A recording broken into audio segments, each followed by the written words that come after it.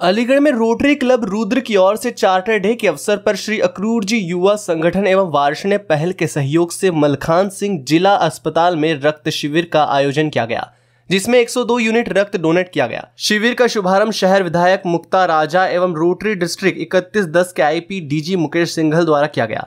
Club के अध्यक्ष साकेत वार्षणे ने बताया कि हर वर्ष चार्टर डे पर रक्तदान शिविर आयोजित करते हैं। इस दौरान रक्तदान करने के लिए प्रोत्साहित भी किया गया।